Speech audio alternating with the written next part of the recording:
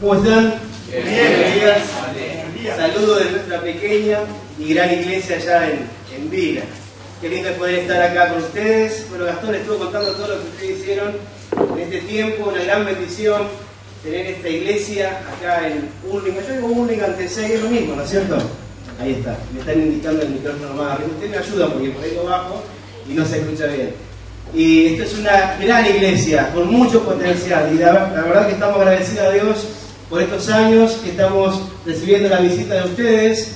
Hoy un muchacho me decía que ir a Vila, voy a trabajar para poder ir, así que bueno, Gastón le va a decir la fecha. Y bueno, fue de gran bendición y lo es todavía la visita de, de ustedes, o orando ustedes por Vila.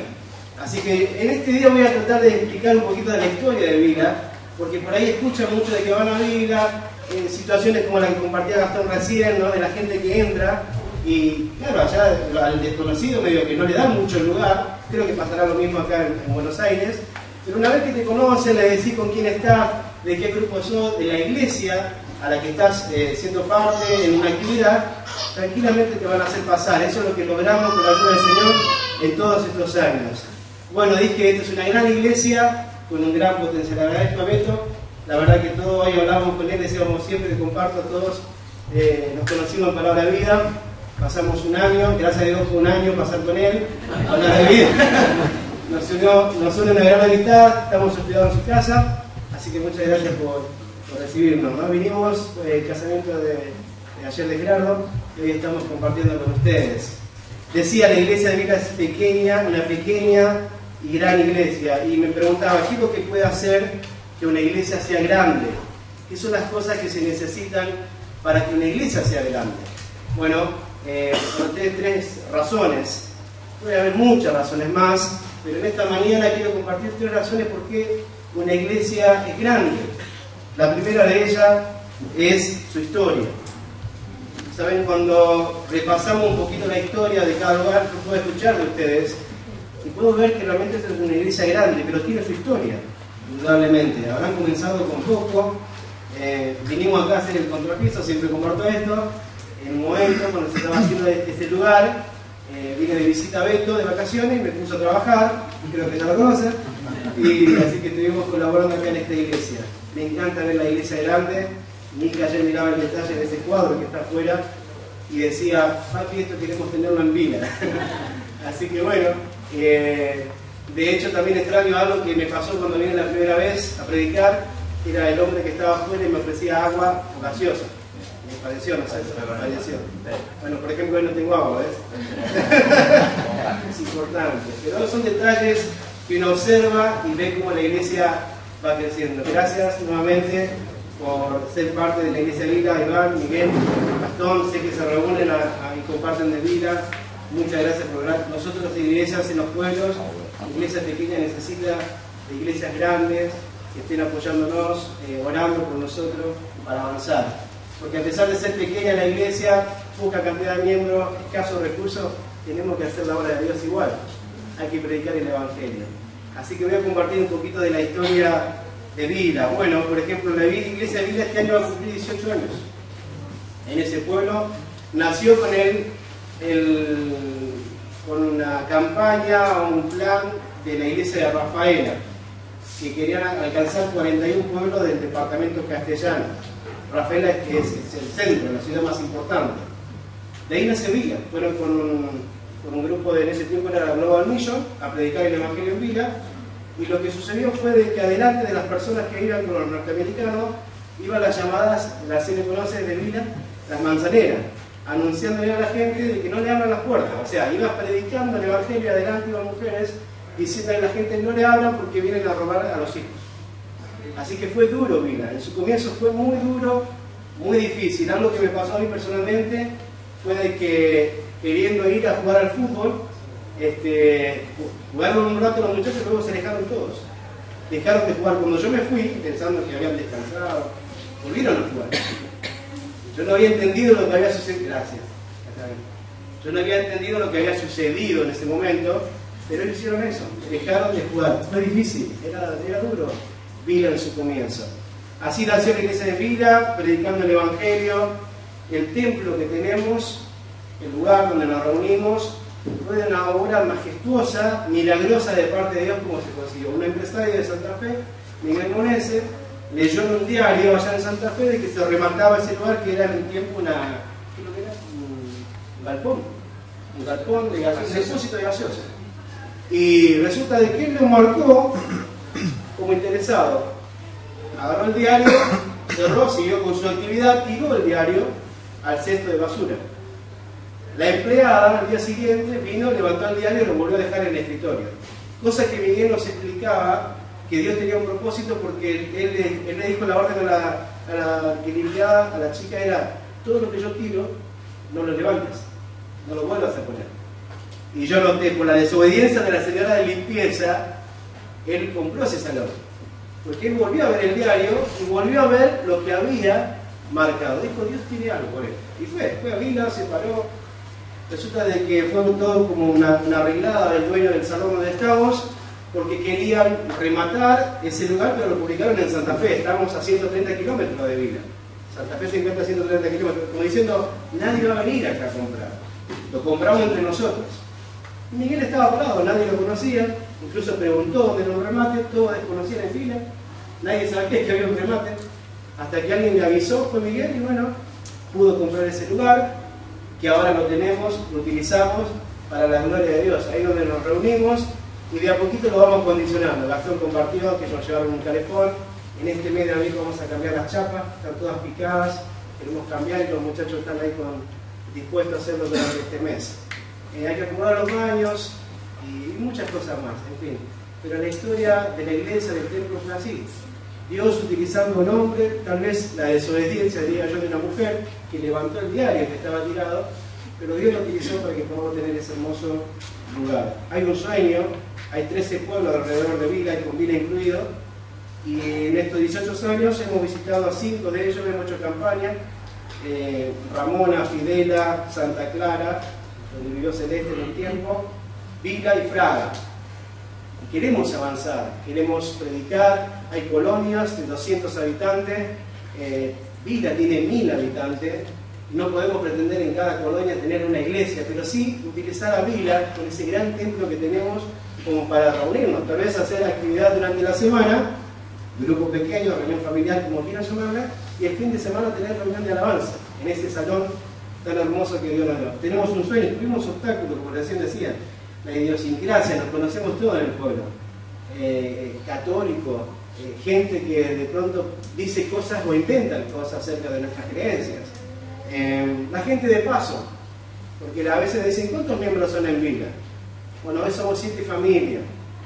Y eso es poquito, sí es poquito, pero estamos haciendo ruido y hacemos la obra de Dios y queremos seguir avanzando. Soñamos con que esa iglesia un día se nos llene.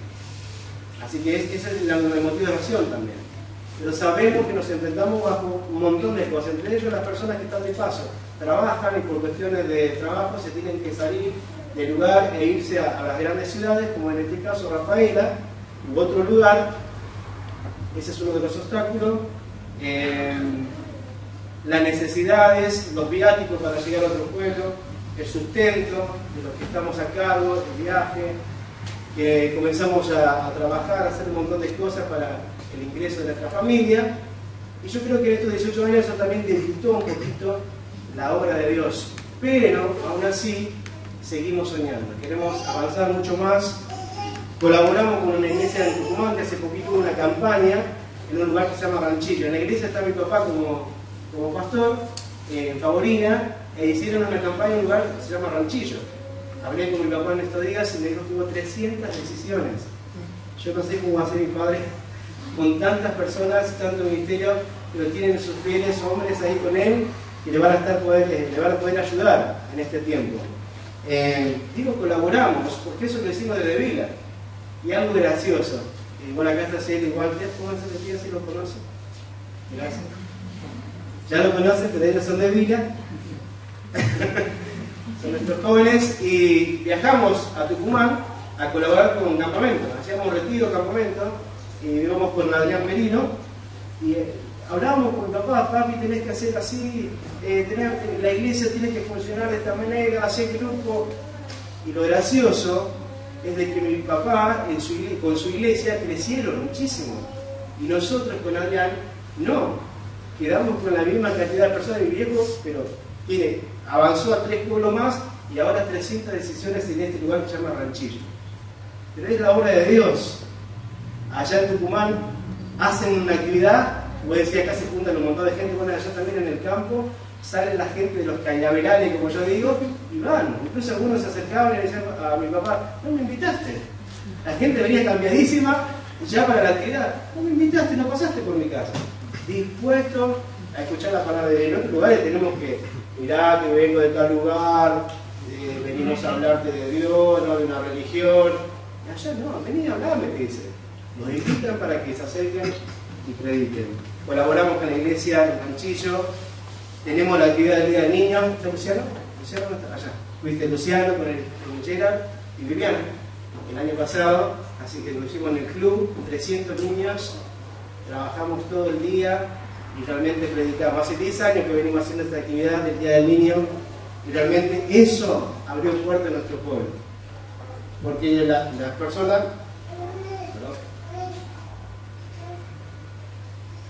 las personas comenzaron a ver lo que hacíamos hacia afuera de la iglesia. Entonces vieron, vieron lo que realmente estamos haciendo en Vila. Diez años hemos llevado hasta paracaidista al pueblo. Era interesante ver a niños y a hombres de 90 años, y algunos saliendo del geriátrico, viendo caer a ese paracaidista en un predio. Yo no podía creer lo que estábamos viendo. Hicimos historia en el pueblo de Vila. Digo así porque hicimos historia, nunca cayó un paracaidista. El primer año fue bueno. Imagínate, en una actividad en la iglesia evangélica. El segundo año, cinco. Le gustó tanto la actividad a estos muchachos que lo hacen por de aficionados. Nos decían, pagamos el combustible, David, y nos tiramos. Fue tal así de que los empresarios nos llaman. Una vez fue Celeste llevando una tarjeta pidiendo colaboración y ellos decían, no, yo, nosotros queremos que venga el pastor, que venga David. Y le damos, todos los años me, esperan. Le anunciamos la fecha en la comuna y nos esperan. Y cuánto necesitas, cuánto te colaboro, lo que usted quiera, y colaboran. Y cada vez más. Y eso nos ayuda para el castillo. Eh, ¿Cuántos castillos vos tenés? ¿Dos, tres? Toma elástica, toro mecánico. Ayúdeme. Dos presentaciones especiales. Y los copos de azúcar. Y los 300, 400 regalos. El mago, un mago. Y un show infantil evangelista. Cada mes de agosto trabajamos para eso. Eso nos abrió puertas. Es interesante ver que la gente del pueblo colabora con los camiones con leche y las personas llevan caramela y el azúcar. Van hasta casa, llevan el azúcar. Bueno, mi señor es docente, no está esta mañana, tarde va a venir. Y eso también, insertarnos en el pueblo, ahí el pastor yendo a la cancha, visitar por Vila, Club Atlético Argentino Vila, jugar al fútbol con los muchachos, eso abrió puertas, nos conocen, no somos desconocidos y esa es una de las actividades que tenemos, hablando del Día del Niño, que ha abierto puertas en este lugar. Queremos seguir haciendo historia. Dije que hay razones para que una iglesia sea grande y hay una razón en vida, una historia, pero lo interesante es la historia hecha por Dios, ¿sí? utilizando a hombres fieles y a las personas que estamos trabajando allá en vida porque todo lo que recién mencioné, Dios tuvo que ver en algo, o Dios tuvo que ver en todo, haciendo la historia en vida. Queremos seguir haciendo. Decía hace un rato, somos siete familias. Y para fin de año tenemos un objetivo, llegar a ser diez, o duplicar. Pero tenemos diez familias fieles para fin de año. Tenemos un par de meses para estar trabajando, ya comenzamos con los muchachos, todos los lunes nos juntamos a orar, a compartir la palabra de Dios. Las mujeres todos los martes y los sábados, los sábados, los jóvenes van hacia Rafaela, van aprendiendo lo que es el formato de la actividad de jóvenes, porque la idea es que ellos también puedan hacer la actividad en Vila, en el pueblo donde, donde estamos viviendo. Los domingos, como siempre, la reunión de, alabanza. Queremos hacer historia con la ayuda de nuestro Dios. Abramos la Biblia ahora para firmar lo que estoy diciendo y podemos ir al libro del Proverbio, capítulo 11, versículo 30. Nombré de que para que la iglesia sea grande necesita, eh, hay tres razones. Una de ellas es su historia, pero la historia hecha por Dios. Proverbio capítulo 3, de 11, versículo 30. Proverbio 11, 30. El fruto del justo es árbol de vida. Y escuchemos, acá dice, y el que gana alma es sabio. Siempre aparece un vivense para la gloria de Dios. Siempre. Vida, hemos predicado el Evangelio, lo vamos a seguir haciendo. Hace 10 años que hacemos la actividad del Día del Niño. Calculen, cada, hay más de 10 niños que reciben a Cristo. 100 niños recibieron a Cristo. Un pueblo de mil habitantes. Cada vez que va Gastón con el grupo de muchachos hay entre 10 y 15 decisiones. Hace 3 años que están. Necesitamos avanzar y vamos a seguir predicando. Dios quiso una iglesia en ese lugar, apareció el templo. Dios quiso un obrero, estamos con mi familia y otra familia más sirviendo al Señor en ese lugar y queremos seguir haciendo historia. El que gana almas es sabio. Hebreos 6, 9 al 10, pasajes conocidísimos, donde dice que Dios no se olvida, vamos a buscarlo, versículo 9 y 10, que dice, pero en cuanto a vosotros, oh amados, estamos persuadidos de cosas mejores y que pertenecen a salvación, aunque hablamos así, porque Dios no es injusto para olvidar vuestra obra y el trabajo de amor que habéis mostrado hacia su nombre, habiendo servido a los santos y sirviéndoles a un Dios no se olvida, es su historia. La iglesia allí en Vila es parte de la historia de Dios. Y Dios no se olvida de todas las cosas que venimos haciendo. Y Dios, estamos convencidos de que Dios va a seguir haciendo.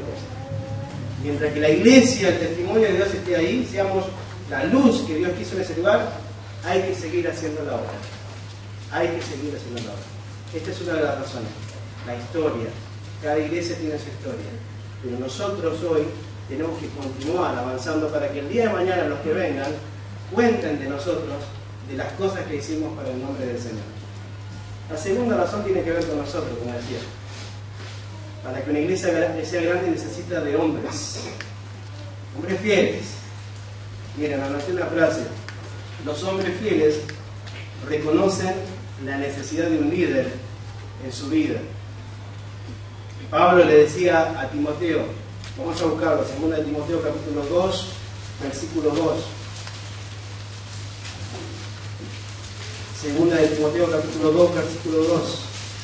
Lo que has oído de mí, decía Pablo, ante muchos testigos, esto encarga a hombres fieles que sean idóneos para enseñar también a otros.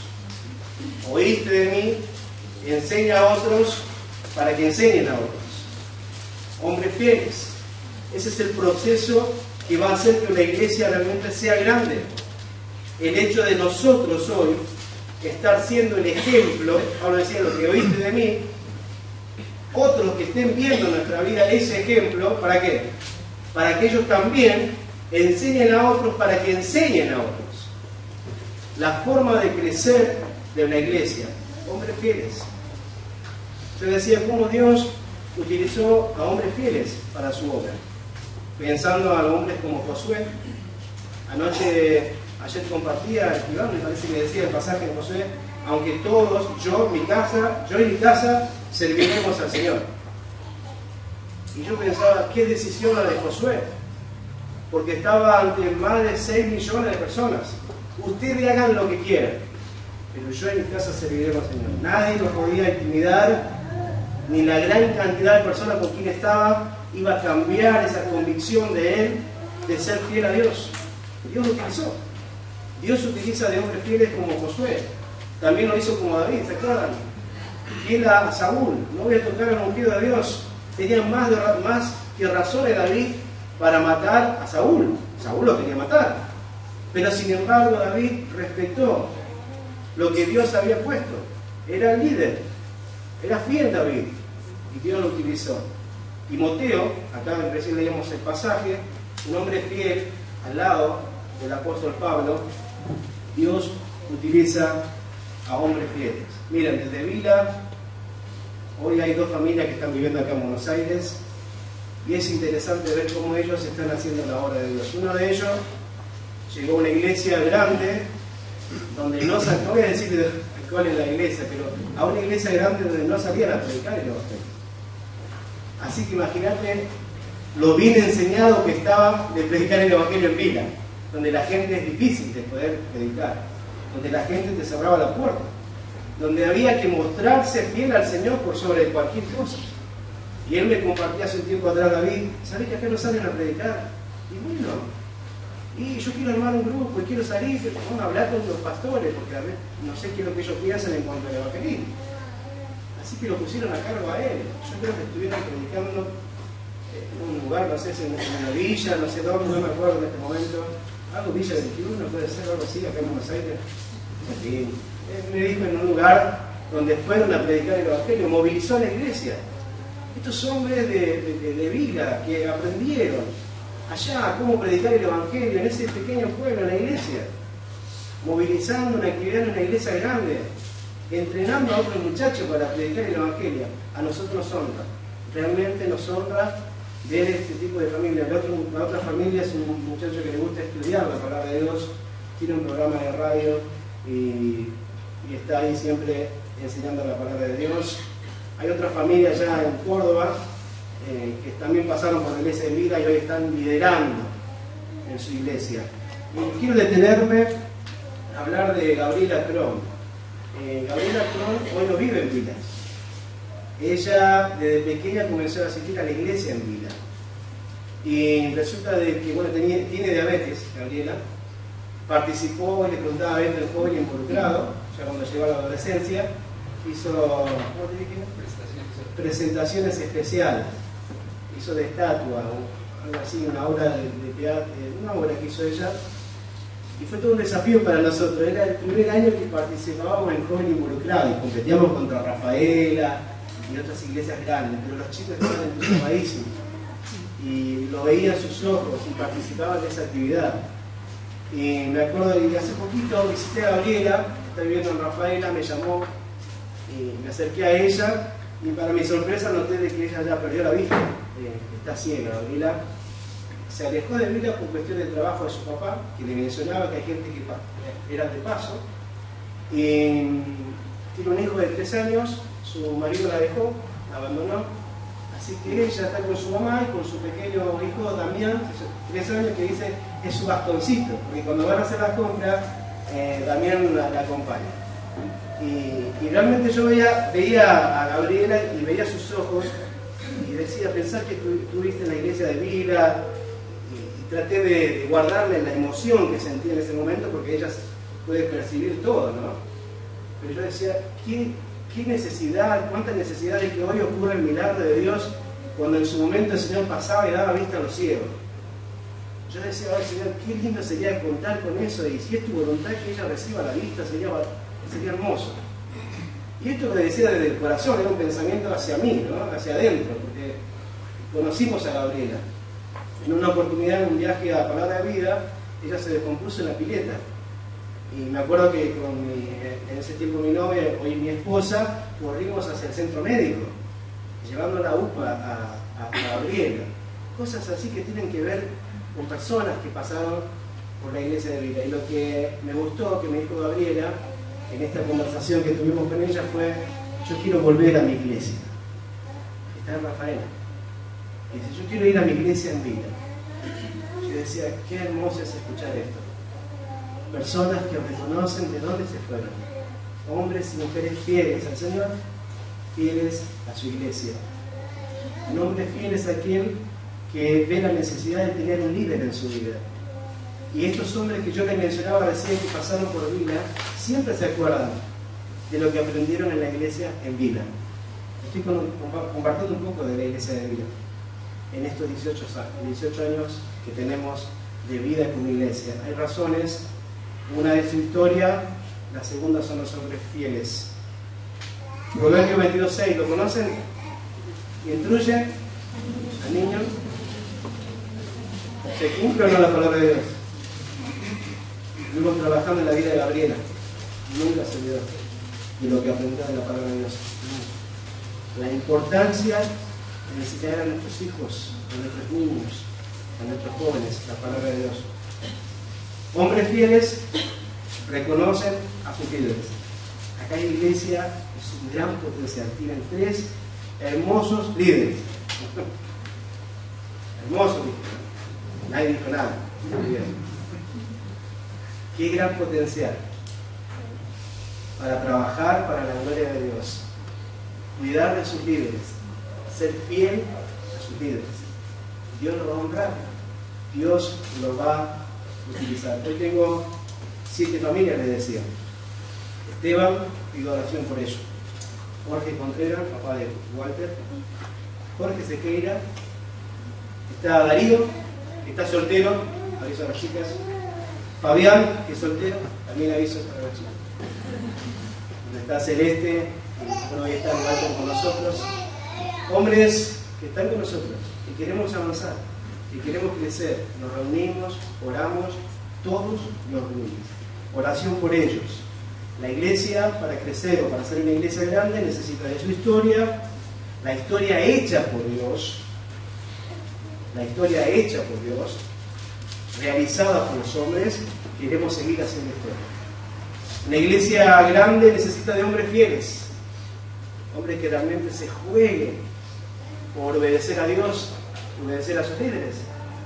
Dios coloca hombres así. Y por último, el hecho de hacer. Hacer la voluntad de Dios. Hacer todo para su gloria y honor. Salmo 40, el versículo 8. Este versículo me encanta, me encanta, me fascina. Y creo que es la mejor expresión que utilizó el salmista para, para que podamos entender lo que estamos hablando, el hecho de hacer. Dice, como dice, el hacer tu voluntad, Dios mío, me ha agradado, me encanta, me fascina, me desafía, no quiero hacer otra cosa más que eso. O hacer las cosas que te desagradan. ¿No? ¿Qué haces? ¿Cómo disfrutamos cuando hacemos las cosas que nos agradan? Siempre disfrutaba de, la música, ¿no? Allá en no tenemos músicos, tenemos músicos, pero están aprendiendo. Y escuchar acá las alabanzas, este, te deleita, me agrada siempre dije que la, música siempre llega a mi corazón.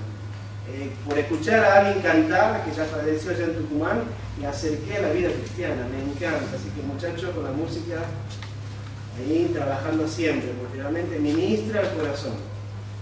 Y dice el salmista, como lo que estoy diciendo, el hacer tu voluntad, Dios mío, me ha agradado, me encanta, me deleita. Y tu ley está donde? En el medio, no en un rincón en el medio de mi corazón. Salmo 143, 10. El hecho de hacer. ¿Qué hacer qué cosa? La voluntad de Dios. Salmo 143, 10.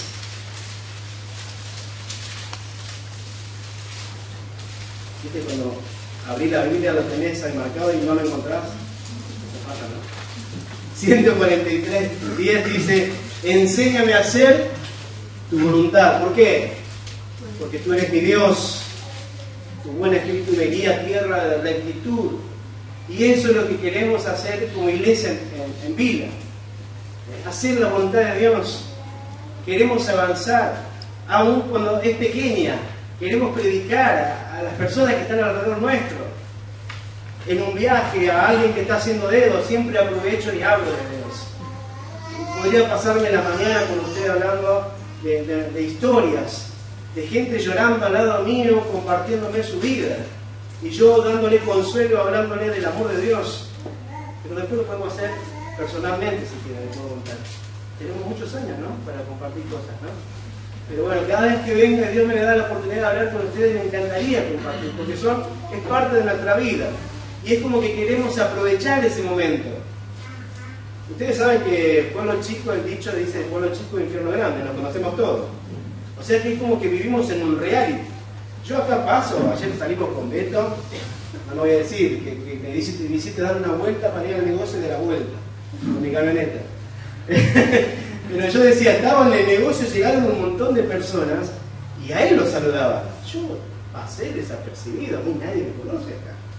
O sea que tranquilamente puedo estar escondiéndome por ahí haciendo cosas malas. ¿Me parece a ustedes? No, está mal. Soy, sos un pastor, claro que sí. Lo digo en forma de, chiste, ¿no? Como que nadie me conoce. Pero en vida, no. Eh, quiero ir a la casa de David Romano, o como dicen ellos, quiero ir a la casa del Tucu, olvídate, allá el Tucu, nadie me conoce. David Romano, nadie. David el Pastor, ah, sí, de aquel lado. Así que nos conocen todos, ¿o no? Todos nos observan, todos nos miran, todo lo que vivimos y hacemos, lo que pensamos, si miramos, si no miramos, cómo vivimos, si nuestra casa está pintada, si no está, si lavo la camioneta o no la lavo. Pero saben, estamos en, en ese lugar aprovechando cada oportunidad que Dios nos da para poder hacer su voluntad, predicar el Evangelio. Hacer la voluntad de Dios tiene que ver con hacer discípulos a todas las naciones, enseñándole que guarden todas las cosas. Tiene que ver con predicar el Evangelio. Yo decía, ¿de qué forma, qué le puedo decir a la iglesia acá en Tesén? Porque si bien allá este, estamos en un pueblo donde todos nos observan y tenemos que aprovechar cada momento para predicar la palabra de Dios en un compartir, en lo que sea, acá también es lo mismo. Hay que predicar el Evangelio. No sé cuántas personas te rodean a vos en tu trabajo o tus vecinos. Yo sé que en ciudades como Buenos Aires, conocer al vecino de la esquina es muy difícil, en cambio nosotros los conocemos todos. Vila no llega a ser ni una manzana de lo que es acá de seis. ¿Cuántas manzanas tenemos? Cuatro cuadras por, cuatro, de norte a sur, de este a oeste. Nos conocemos todos. Y yo sé que acá es muy difícil poder conocer al vecino que vive al lado. No voy a señalar a nadie, pero seguramente le, pasa a ustedes y no se conocen, ni sé lo que hacen. Y vivimos así, ¿no? no sabiendo lo que, lo que pasa en el vecino. Pero yo decía, aún así, uno tiene que hacer la voluntad de Dios y predicar el Evangelio, porque indudablemente con alguien te ves en el trabajo, en una actividad deportiva, eh, en una charla, tal vez con los eh, compañeros o con los papás de los compañeros de tus hijos. Con Marina siempre decimos, Verena está ahora en cuarto grado.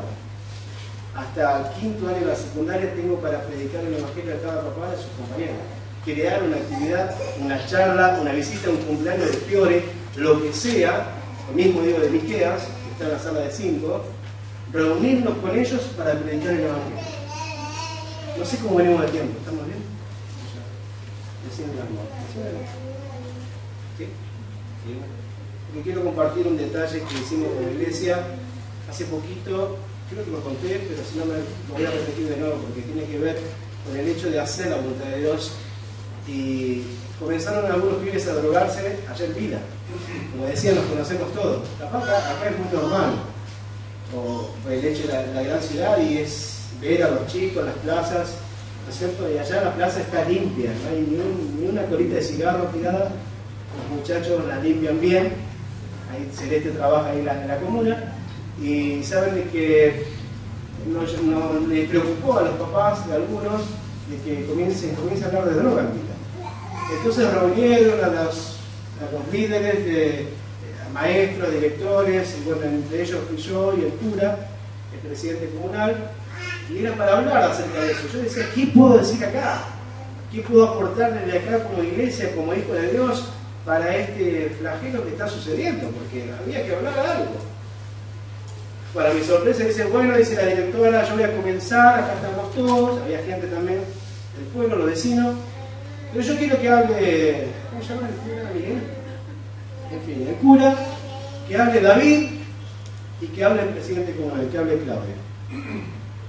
Así que yo por un momento digo, ¿qué digo ahora? Es el momento de poner algo que tenga que ver con Dios. Y saben, fue lindo que nos respeten ya como iglesia, la actividad del Día del Niño abrió puertas, escuchan, quieren escuchar todo lo que nosotros opinamos Hemos logrado eso en nuestra pequeña y gran iglesia en Vila. Y pudimos hacer un cartel que decía, el ladrón viene para matar, el, versículo, ¿no es cierto? De Juan 10, 10. Bueno, lo pusimos en base a ese versículo con otras palabras que tienen que ver cómo la droga también trabaja de esa forma, te mata tu felicidad, te destruye tu vida. Y, sabemos que eso es obra del diablo. Pero estamos metidos en cada actividad que en el pueblo de vida se realiza. Queremos hacer la voluntad de Dios. Y este año tenemos grandes desafíos. Eh, Proverbios 3:27, hablando del hecho de hacer la voluntad de Dios, hablando de aprovechar las oportunidades que Dios nos da para predicar su, evangelio. Proverbios 3:27, mira lo que dice la verdad.